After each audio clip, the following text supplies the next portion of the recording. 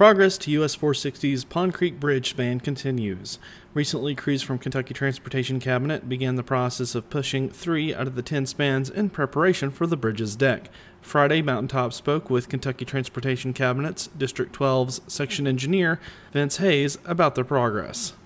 Well, we've got all our piers and caps completed. This is going to be the tallest bridge east of the Mississippi.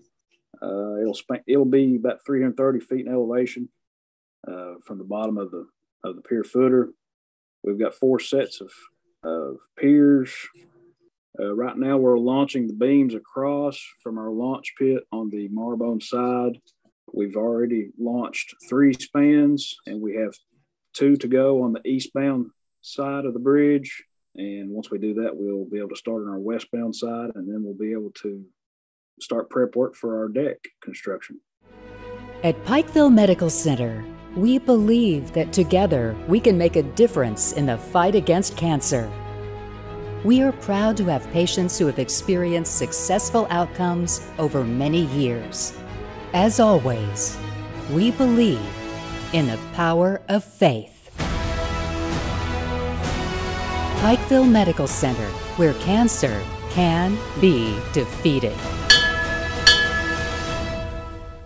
Since 2018, crews have been assembling the bridge. Hayes says they're looking to have it completed within the next 15 months. Starting from nothing and looking at where we're at now, it's it's it's it's been a progress, but uh, it's been a slow progress. But looking back from where we were with with nothing, you know, just digging out for the first abutment, uh, it's pretty cool to watch.